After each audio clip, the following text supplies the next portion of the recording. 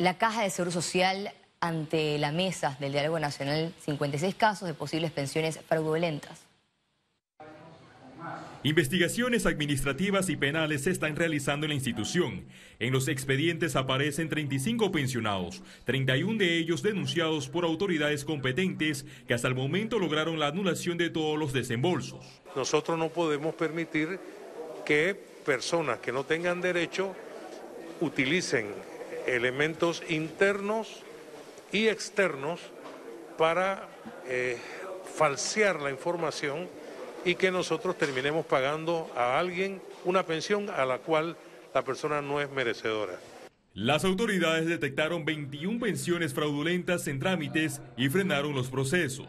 Bueno, hay de todo también. Tenemos casos que se encontraron en administraciones anteriores, pero eh, la inmensa mayoría son de esta administración que la hemos detectado nosotros. La Caja de Seguro Social, dentro de las irregularidades, encontró casos de cuotas eliminadas y trasladadas a otras personas. Además, se comprobó la existencia de usuarios que no han terminado de pagar y recibían el monto de sus pensiones. 35 pensiones fueron eliminadas. Fueron totalmente eliminadas y las denuncias puestas en la esfera penal. Una cosa es el daño que se le hace económico a la, casa, a la caja, el otro es el delito y eso penalmente se está siguiendo.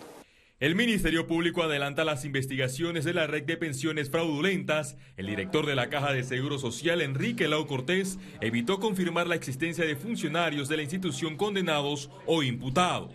Félix Antonio Chávez, Econi.